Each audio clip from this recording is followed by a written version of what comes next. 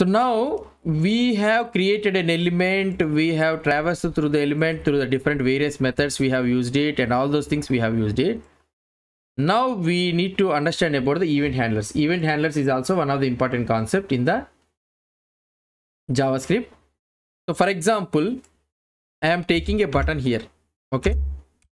So JavaScript is an everything is an event based programming only. So this is an event based programming. So here I am having a button and I am having click me. Okay. So this is the button which you will be having. Now first what I what you will try to do. So here you will try to take catch that button. So where btn is equal to document dot query selector. So whichever thing get element by tag name also you can use it not a problem. So I am catching the button with a tag name. Now let's try to do the console.log of button so whether we are able to catch it or not. If you try to see the console so we are able to get the error it. we are able to catch that button. Okay? Button text content these are all things we are able to see. So fine. So we now what i want to do is when a user clicks on this button or when a user clicks on this button i need to show some action. So i need to i need to execute some method. Okay? I need to execute some method.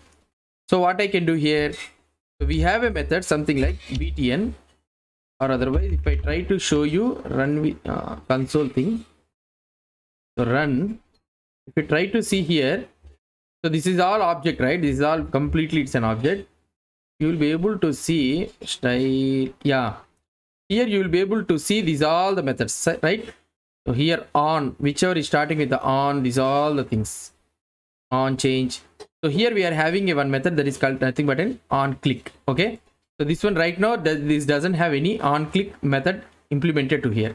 So now we need to implement this on click method. On click means so what will happen is when the user clicks on this one button automatically that on click method whatever the method you have mentioned in this on click it will execute it. So how we can mention it here is button dot on click. So if you want to attach whatever the event you want means you can check it in that object thing. So there are so many objects available. Same thing like this only you will write it. On click of function and you can write console.log of button click. So like this you can write it. Now if i try to show you the output console also you can see. So now here i have used this on click. And now if i try to clear it run with js if i click okay so this is all object that has been created. So i am doing this console right button. So let's try to see on click whether an event is attached or not. So i think it will not be attached i think. Why? Because uh, before attaching only we are consoling the output. Um, where it will be? On click. Yeah here on click is null is right? Why? Because before attaching only we are trying to console that one. So that is the reason we are not able to get it. But actually it will be attached.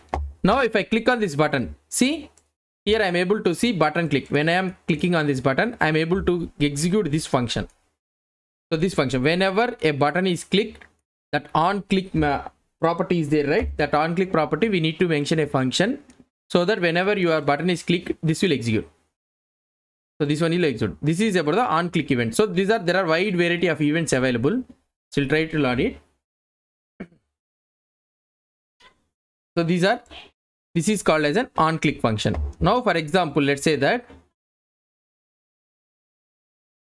i have used another one. Button dot on click. So this is the drawback we'll be having. I am using another on click for this one only. So i am using this console.log again button. Again click or something like this. Okay. So here my requirement is in such a way that whenever this button is clicked click me button is clicked means then what i need to get i need to execute two functions here. Let's remove this console. Yeah. So what i need to get i need to execute these two functions. Why? Because for this button i have attached two on click functions. So that means button clicked and again button again clicked. So that means i have some scenarios in such a way that I have written some logic here. So afterwards I have realized and again I have uh, again I have written on click so that these two uh, whenever a button is clicked means these two functions has to invoke. So whenever I do this click me, so here if you try to see the first one has been overridden and here only this one is executing. Okay? So that means this on click takes only one function only. That is a property right? It will not take an array of functions. It will take only one function. And whatever the function that has been latest instance created so that function only will be taken care. So here this this is the last function which is created is button again click. So that is the reason. So that that is the only method it is getting executed. So this is overridden by this method. So this is the drawback. So that means whenever you are having two on click buttons or something like that in real time project whenever you want to write like this means so this will execute the latest one only. Okay. So there is a this is the disadvantage of this on click event so then what you what i need to do? So i need to have a scenario in such a way that i need to execute the two one click function something like that. So whenever i use the like this on click and something like that so i need to execute. Whatever the listeners are there for that button it need to execute all the functions means then what i need to do. So here what we can do is for example let's say i am removing this one all. Okay. I am having one function. Let's try to create a one function listener one. This is first listener i am using console.log so button click listener one i will use. Okay this is the first one. And i am creating another function listener 2 so this names are not uh, static. So this one whatever name you want it you can uh, you can write your name. So just i am writing listener one. So don't think that this is a fixed one.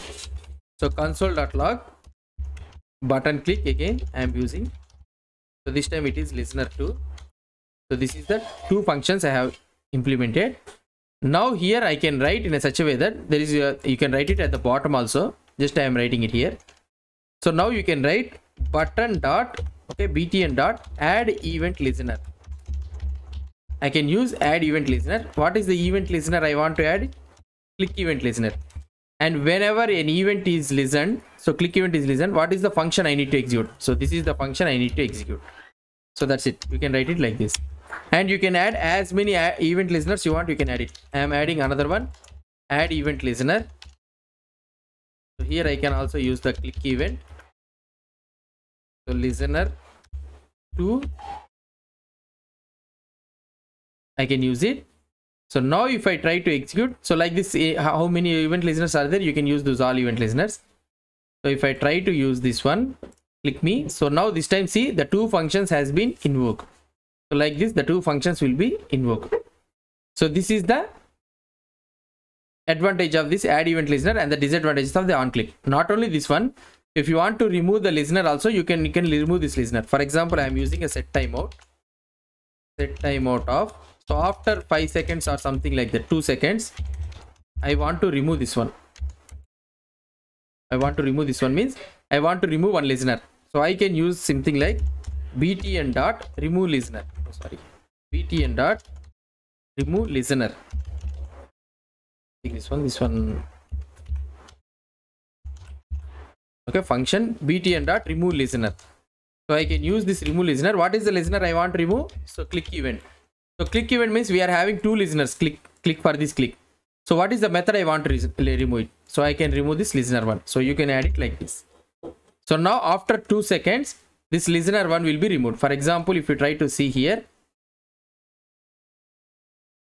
what is it? I have written something wrong about. Sorry, remove event listener. I need to use remove event listener. So clear it. So if I'm clicking here, see this time only one is coming. So let's execute again.